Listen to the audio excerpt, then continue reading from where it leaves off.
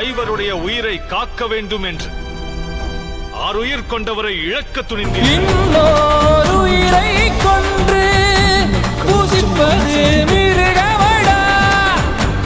இன்னோர் உயிரை கொன்று ரசிப்பவன் நரக்கரடா யாருக்கும் தீங்கன்றி வாழ்பவன் மனிதன் ஊருக்கே வாழ்ந்து உயர்ந்தவன் புனிதன்.